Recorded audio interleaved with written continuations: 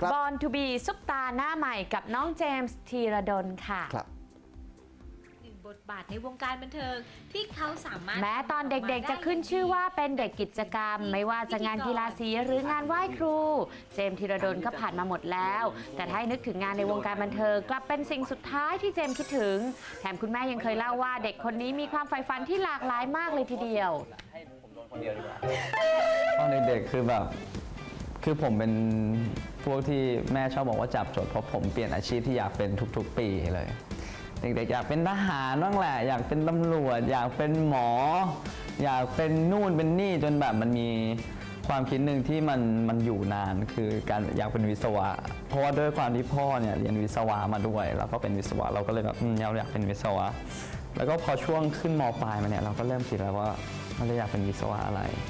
แล้วเราก็มองไว้ว่าเป็นวิศวการบินเราอยากเป็นนักบินอ่าจะได้แบบบินไปนู่นไปนี่ แล้วพอม5เทอม2ที่ได้มีโอกาสเริ่มเข้าวงการอย่างเงี้ยเริ่มแบบได้ลองทำงานในวงการเรารู้สึกเลยว่าเฮ้ยวิทย์มันไม่ใช่ทางแล้วอะกินมากนะอ่า นะครับการที่เจมมาถึงจุดนี้ได้เรียกว่าเป็นซุปตาหน้าใหม่นะครับเขาต้องใช้ความพยายามความสามารถเป็นอย่างมากครับ จะเป็นอย่างไรต้องติดตามนะครับในรายการ Born to be ซุปตาหน้าใหม่3ทุ่ม10นาทีทางช่อง True Insight ของเราครับก็เลยส่งอัวมาดูแลดูแลเหรอ เดี๋ยวมีอีกหนังอีกหนึ่งเรื่องที่ผมค่ะชอบวัยรุ่นพันล้านได้ดูไหมเรื่องนี้ดูแล้วเรื่องสนุกแบบว่ามกเท่าแก่น้อย ใช่แล้วอืมนะครับ ทางทูไทยฟิล์มเดี๋ยวไปติดตามชมกันครับ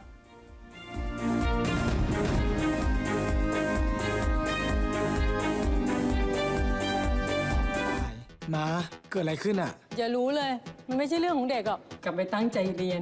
เรื่องค่าเทอมอะป้ากับมาต้องรับผิดชอบ เงินแค่เนี้ยเดี๋ยวต๊อบจัดการเอง ติดตามชมภาพยนตร์ที่จะเป็นแรงบันดาลใจให้กับวัยรุ่น ที่จะพาคุณไปรู้จักกับเรื่องราวจากชีวิตของต๊อบอิทธิพัฒน์เจ้าของธุรกิจสาหร่ายเท่าแก่น้อย จากเด็กวัยรุ่นที่ติดเกมออนไลน์ เด็กมัธยมปลายที่เคยถูกครูฝ่ายปกครองค่อนขอดว่าเรียนจบแล้วจะไปทำอะไรกิน จนกลายมาเป็นวัยรุ่นพันล้านในวันนี้ต๊อบก้าวกระโดดมาถึงจุดนี้ได้อย่างไร อะไรคือสิ่งที่ต๊อบต้องแลกให้กับคำว่ารวย อะไรคือมูลค่าที่แท้จริงของความรวย และอะไรคือสิ่งที่ผุดขึ้นในหัวของเขา เมื่อได้ลองชิมสาหร่ายทอดบรรจุกระป๋องแบบโอท็อปเป็นครั้งแรก พบกับคำตอบจากคำถามเหล่านี้ได้ใน Top Secret วัยรุ่นพันล้าน วันศุกร์ที่ 14 เวลา 21นาฬิกาทาง True Thai Film ครับ เสียไปเป็นแสน